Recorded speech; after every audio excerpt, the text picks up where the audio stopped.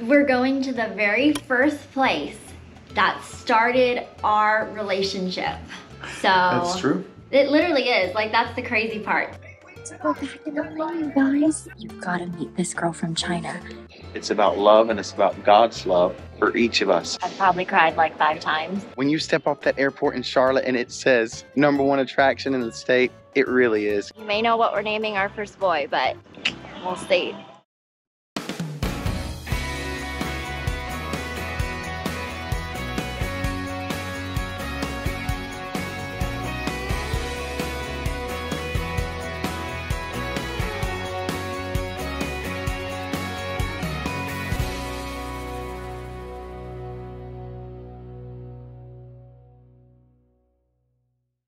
North Carolina, we have arrived. Guys, this is somewhere that we have both wanted to go since we met. And there's kind of a cool backstory to our romance, where we're going. It's where we started our relationship, but we've never visited. So Virtually, guys. what could that place be? Let's go. We're going to the Billy Graham Museum. I'm so excited. I've never been before. Two police cars just pulled in the Billy Graham Museum, so action is about to happen. this place is beautiful. I think I'm rolling up to a presidential library. And I guess this is going to be cooler than that. And we will tell you how this was one of the keys to our romance and how we met. For me, at the Billy Graham Museum, I just got like really nervous. I don't know why. It's funny because we visited a bunch of presidential libraries, but like obviously, you know, there are presidents. We're just going to learn education and all of their libraries and museums are open to the public. This is private property, so I just feel like it's more like, wow, we're going to a place that's so cool versus like the president's place. They're cool, but like, eh, not as cool as Billy Graham. So I'm like, Charlotte, North Carolina.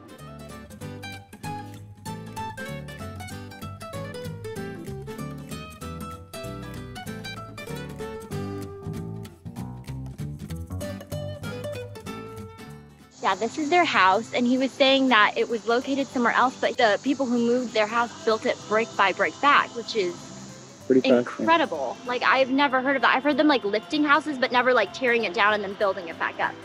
Guys, you feel like you're walking through Biltmore Gardens right here. They keep this place up magically. So right here, Graham Home Place, it's rebuilt brick by brick. Right behind us, built by Billy's father, William, good name, William Franklin Graham, in the 20s, just a few miles east of this site. This is the first time in my entire life I ever knew that Billy Graham was William Graham. I have no idea. Just like I didn't know that um the people who crossed with uh William Clark, Lewis like and like like Lewis and Clark. I did not know one of them name was William.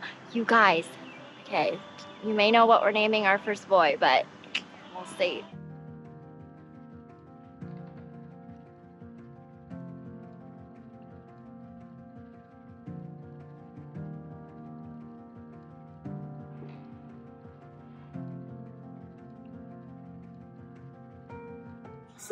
This is just the cutest house. Like, can you imagine being so influential? People are like excited to look inside your home.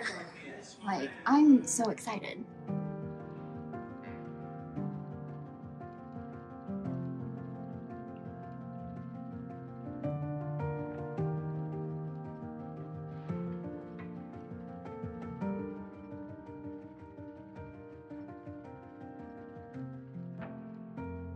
We're barely through the first home place part of the tour, and it is already blowing my mind. You just think about someone who lived their life so dedicated to faith in making a difference in people's lives and the impact he had not on just America but globally for Jesus. It's a really powerful and inspiring, and I really love that when you have something like this, it's memorialized forever for future generations to come and just check out and be inspired by. And it all points to, of course, not Billy, but to Jesus Christ.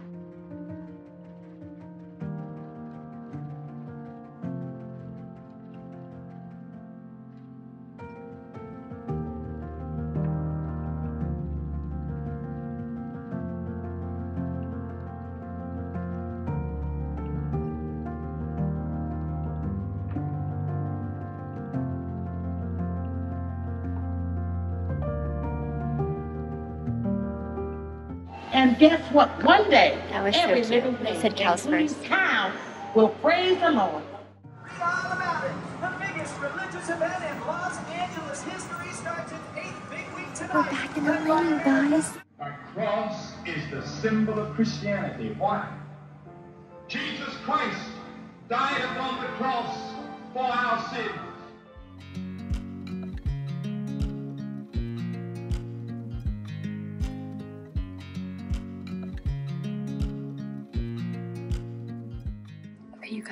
Guys, the last one was so cute. He was saying that when he went to Wheaton College, all of them were saying, Oh, you've got to meet this girl from China. And Billy Graham's like, Okay, maybe. So it was funny that a boy from the Smoky Mountains and a girl from China sounds familiar. You know, in God's sight, you are beautiful. And, and everyone. Because, uh, because God loves all of us. And He has the hairs of our head numbered. He sees the sparrow fall. He's interested in every detail of your life. He made you like you are. He made you Woody Allen. And He expects you to live up uh, to a standard that He has made. And if you don't live up to it, then the Bible says you're falling short, and that's where you need God's help for redemption. I guess I'm just troubled by the fact that, that we have to put the seed of sin in a little baby. Why don't we relax and just Well, just it's not on me. I'm, I'm, I'm telling you what the Bible teaches, not what I teach. You know I, I I understand But you have to come by faith, uh, Phil. Uh, you, you'll never be able to reason it out. If you try to reason it out, you're sunk. uh, really? Yes. You agree? Oh yeah. Thank you. you know, Phil, what you're trying to do and what we're trying to do is to develop a God like ourselves. We, we do not want the revelation of God. We do not want God to say, I'm a God of judgment, I will judge you, and uh, so forth. We don't want that. We want to make God in our image so that we become guilty of idolatry, which is the worst of all sin. My basic message has not changed. The message of the fact that uh, the Bible is the authoritative Word of God, the fact that Jesus Christ was virgin born, the fact that Jesus Christ died for our sins on the cross, the fact that Jesus Christ rose from the dead, the fact that He's coming again, and the fact that you need to repent and receive Him as your Savior. That hasn't changed. It's Billy Sunday to um, Mordecai Ham, and then Mordecai Ham to Billy Graham, and it's just amazing, like the faithful testimony, how it's all linked together, and you'll never know. Like it says right here, only time would eventually reveal the powerful witness of this faithful Christian. It's like how when you are faithful to God and you are a witness, and your character and how you behave and your um, what you present to others, how it impacts just a whole generation of people. You see, you lose in this life the misery, the unhappiness that eventually comes. Only in the empty life without God. Because you were made for God, and without God, there's no permanent happiness and no permanent pleasure.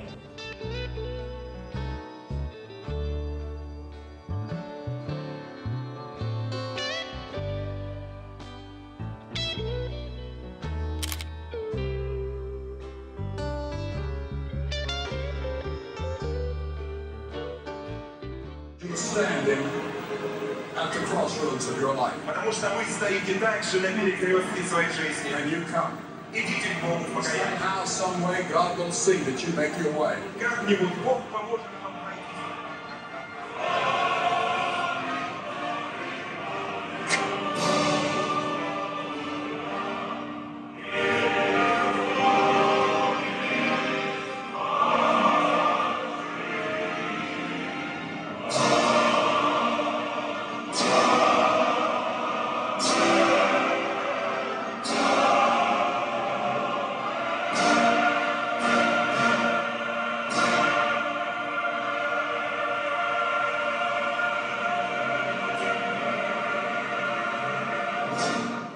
God so loved the world that he gave his only begotten Son.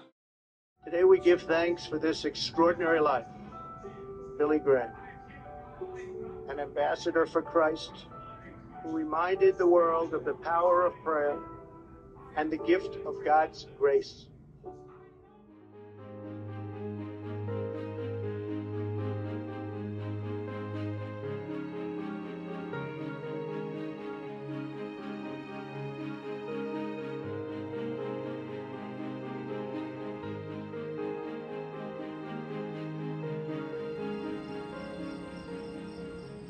Thank you for stopping by for a visit. I'm certainly delighted to have you here. We just made it through The journey almost of faith. all of the library, the Journey of Faith. We're going to go to see their landmarks after, but we had to stop in and get us some food. They made it fresh right here. So far, this has been a 25 out of a 10. It has been an amazing trip.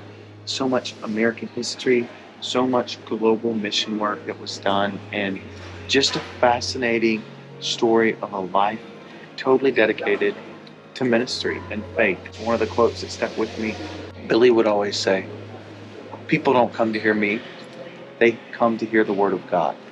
And I think that's so true when you're sharing. It's not about you, it's about truth, it's about love, and it's about God's love for each of us individually. So fun. I'm so excited to be here. I've probably cried like five times. I think it's that sensitivity of the Holy Spirit that you have whenever you're in an environment that's just really saturated in uh, God's Word. And it's obviously such a blessed place. So many faith leaders have walked through here. The Lord's just blessing this place. But I'm excited to eat, and everyone should definitely add it on their list, as well as the Ark and the Creation Museum. So South has a lot of wonderful places to come learn about God. Great resources for everybody. Tiff got the grilled chicken. I got the chicken salad made fresh right here in their restaurant. Make sure you dip in the restaurant too.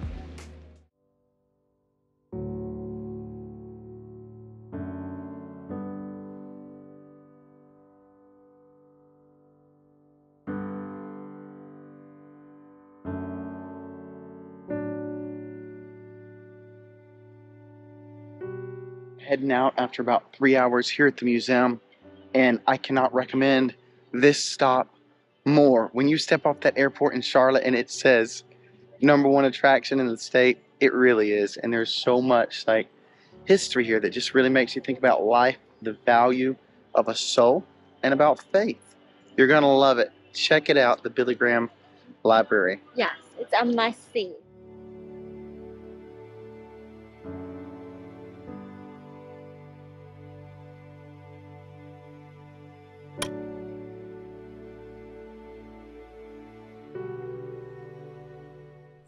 Alrighty, friends, it's your boy Lawson. If you're here wondering, what in the world did all that have to do with Lawson and Tiffany's romance? I'll tell you the story. Tiffany had done an interview with the Billy Graham Evangelistic Association, and a friend of mine posted the article. I read it, and that's how I first heard about her. It talked about being bold in your faith, even in the spotlight, in places that may not look on it as a positive light. And she did a phenomenal job.